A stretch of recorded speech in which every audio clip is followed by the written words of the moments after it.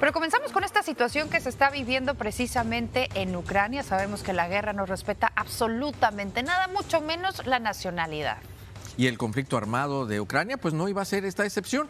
Allí ha quedado atrapado un grupo de cubanos, de cómo lo están pasando y de, los esfuerzos para poder salir. Nos habla ahora Arleti González Chile. Muy buenos días, Arleti. Martín Aranza, muy buenos días. Una situación bastante drástica. Este grupo de cubanos dice que han sido días de gran incertidumbre para ellos. Son nueve, dos de los cuales no aceptaron mostrar su rostro. Ellos le suplican a los países democráticos que se compadezcan de ellos, que los ayuden a salir de Ucrania ya que temen morir bajo las bombas.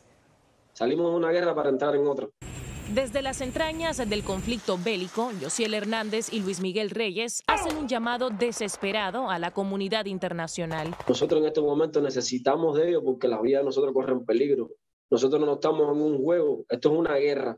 Ellos, los rusos dicen que no, que no van a atacar los civiles, pero no se puede confiar en ellos si ellos dijeron que no iban a atacar Ucrania y están atacando ellos dijeron que no iban a matar civiles y están matando. Ellos forman parte de un grupo de nueve cubanos que están en un centro de migrantes de Mykolaiv, al sur de Ucrania, atrapados entre bombas y actividad militar. Cuéntenme cómo están ustedes. Salimos viendo un régimen y nos encontramos una guerra. Eh, físicamente ya no estamos casi ni bien porque el estrés nos está cogiendo mucho, las mujeres también. La comida aquí se está reduciendo. Grabamos aviones de día también disparando. Hemos grabado, hemos grabado camiones de guardia. Eh, bombas cayendo cerca de nosotros. Ahí van, mira, los soldados ucranianos. El grupo salió de Cuba con destino a Rusia, donde no necesitan visa para ingresar, con la esperanza de llegar a territorio español.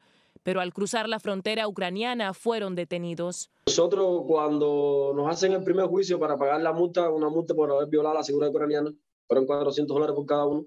Después nos hacen otro juicio para poder ir a un centro de refugiados para ir otorgando el asilo político, supuestamente donde fuimos engañados, porque en el juicio nos aprobaron una deportación para Cuba en seis meses y nosotros como no sabemos ucranianos. Los seis hombres y tres mujeres temen por su vida. Salieron de Cuba en busca de asilo y regresar a la isla no es una opción, dicen, por temas políticos.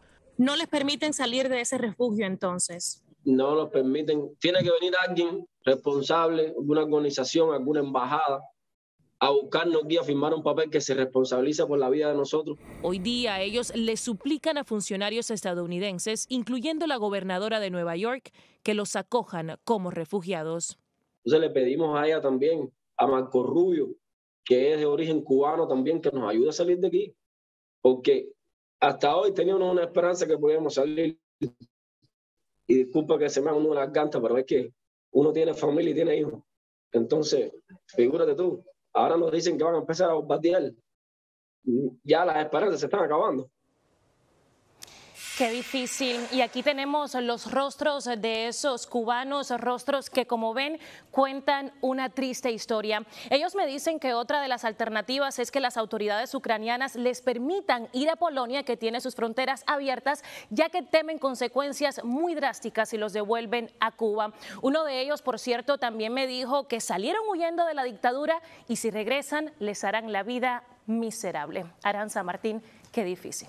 No, definitivamente, Arleti, muchísimas gracias por darle voz a estas personas que también necesitan de una mano amiga para salir de esa situación. Ojalá que encuentren pronto esa alternativa y como dicen, que las autoridades estadounidenses les echen una mano.